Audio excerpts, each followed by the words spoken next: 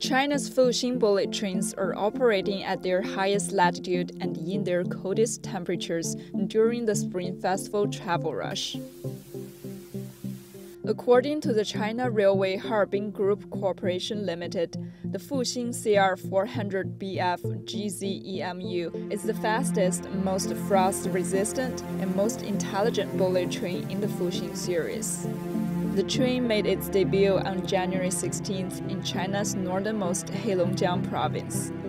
It was independently designed and manufactured in China and has an operating speed of 350 kilometers per hour. It has an automatic anti-freezing function, and its materials and components have been designed to withstand low temperatures, so it can operate normally even in an extremely cold environment of minus 40 degrees Celsius. The Spring Festival travel rush, also known as Chunyun, lasts 40 days from January 7th to February 15th this year.